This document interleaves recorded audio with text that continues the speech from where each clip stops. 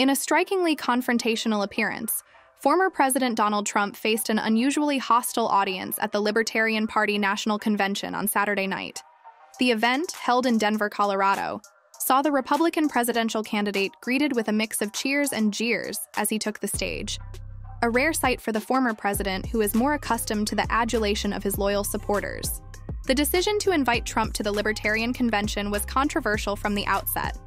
Libertarians, who prioritize small government and individual liberties, often view Trump with skepticism due to his track record on federal spending, his handling of the COVID 19 pandemic, and his contentious political maneuvers. His invitation alone caused a rift within the party, with some members staunchly opposed to giving him a platform, while others saw it as an opportunity to broaden their appeal and influence. As Trump approached the podium, a sea of reactions met him. Supporters clad in Make America Great Again, hats and t shirts, tried to outshout the detractors with chants of USA, USA.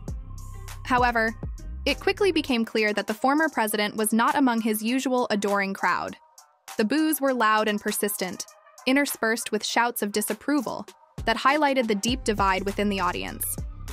Trump attempted to break the ice with a joke about his legal troubles, referencing the four criminal indictments against him. If I wasn't a libertarian before, I sure as hell am a libertarian now, he quipped, trying to align himself with the party's emphasis on personal freedom and opposition to government overreach. The response was lukewarm, at best, signaling the challenge he faced in winning over this particular audience. The former president's speech quickly shifted to a more familiar territory as he praised the fierce champions of freedom in this room and launched into a scathing critique of President Joe Biden. Labeling Biden as a tyrant and the worst president in the history of the United States, Trump might have expected a supportive reaction. Instead, a significant portion of the crowd responded with a stinging retort That's you. Caught off guard by the intensity of the backlash, Trump found himself in a rare position of defensiveness. The heckling intensified as members of the audience continued to criticize him for his administration's policies, particularly the expansion of federal deficits and the perceived erosion of civil liberties during his tenure.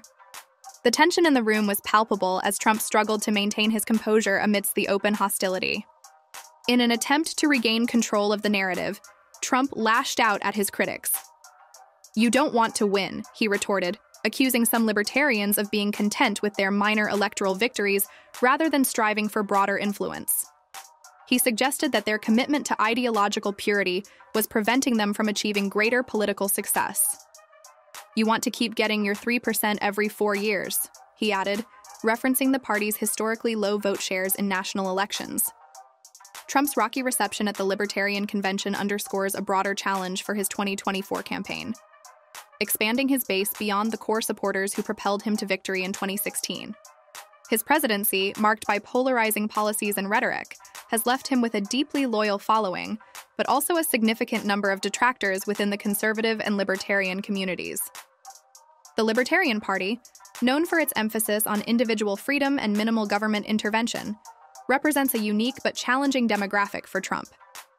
Many libertarians criticize his administration's handling of civil liberties, the national debt, and foreign policy. His appearance at the convention was a calculated risk aimed at bridging these divides, but the response he received highlighted the difficulties he faces in this endeavor. As the 2024 election approaches, both Trump and the Libertarian Party face critical decisions about their strategies and alliances. For Trump, the path to reclaiming the presidency may require more than just energizing his base. It may necessitate winning over skeptical factions within the broader conservative movement. For libertarians, the challenge lies in balancing ideological purity with pragmatic considerations of political success. Donald Trump's appearance at the Libertarian Party National Convention was a dramatic and telling episode in the unfolding drama of the 2024 presidential race. It highlighted the deep divisions within the American political landscape and the formidable obstacles that lie ahead for both Trump and the Libertarian Party. Whether this encounter will lead to greater collaboration or further polarization remains to be seen. But it is clear that the road to November 2024 will be anything but predictable.